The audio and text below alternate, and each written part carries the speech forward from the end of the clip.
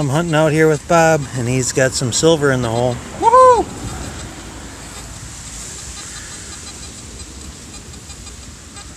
It's a Roosevelt dime.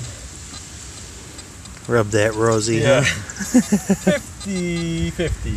A 50. It's pretty worn. 50D.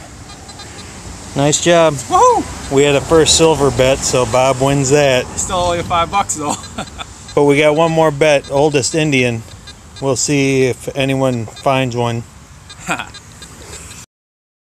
well, it wasn't silver, but it's a interesting token. It's for a Piper pilot, good at authorized Piper aircraft dealers. This coin and $5 for one introductory flying lesson. I'll let you know if I find anything else. Well, I'm hunting out here in Albion. I just popped out this plug. I saw a dark stain here. I flipped this little piece over. And there's a war nickel. Let's see if I can get a date. 1945.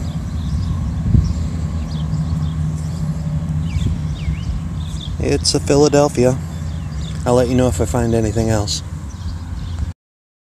Hunting out here in Albion again, and I just got a cufflink.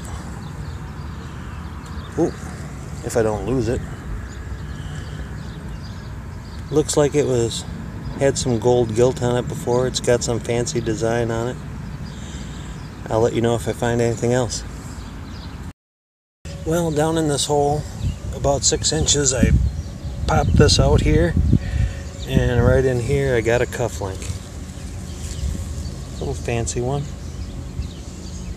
I'll let you know if I find anything else. Right here is the buffalo nickel I found right here. It was in the sidewall, it was straight up and down.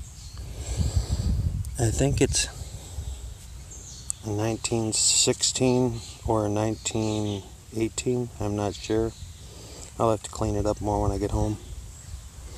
Right here's another buffalo nickel. I found about six to eight yards that way. So two buffaloes so far. I'll let you know if I find anything else.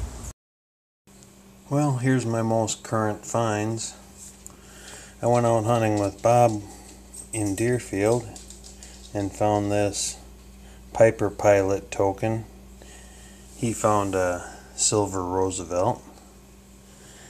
Then I went to Albion and I found a 1945 war nickel and two cufflinks. And then hunting at the old school in London, I found two buffalo nickels. This one, both of them were hard to get dates off of. This one I think is a 1919 and this one I think is a 1923 or 25.